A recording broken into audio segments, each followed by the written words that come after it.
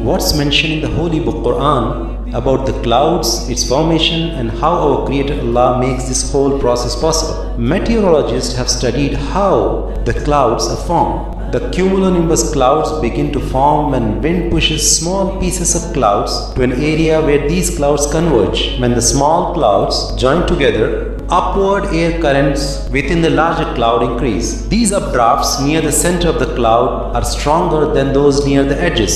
These upward currents cause the cloud body to grow vertically, so the cloud is stacked up. This vertical growth causes the cloud body to stretch into cooler regions of the atmosphere where drops of water and hail formulate and begin to grow larger and larger. When these drops of water and hail become too heavy for the updrafts to support them, they begin to fall from the cloud as rain and hail. More than 14 centuries ago, these facts were revealed in the Holy Book Quran by Allah, our Creator, to His last and final messenger, Prophet Muhammad, peace be upon him. One of the many signs of Allah's creation. In a primitive, faraway desert environment without any advancement of modern science. What does Allah says? In the Holy Quran, he says, Bismillahir Rahmanir Rahim.